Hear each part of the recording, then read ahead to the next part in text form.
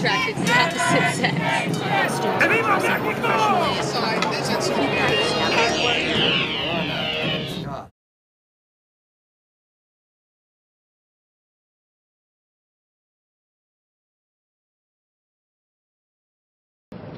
You know, I'd probably just spend it on like books, you know, or not textbooks, but you know, literature. I really, I enjoy reading, and I waiting for classes. I go through a lot of books. I would spend it on a new laptop because I don't have financial aid right now. I would probably spend it on a wedding because I'm getting married in September. Um, I'd probably pay off my car. spend on food, I would spend on bills, and I would spend it on uh, my needs.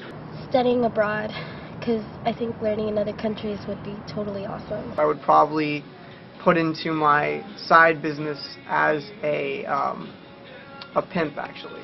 Yeah,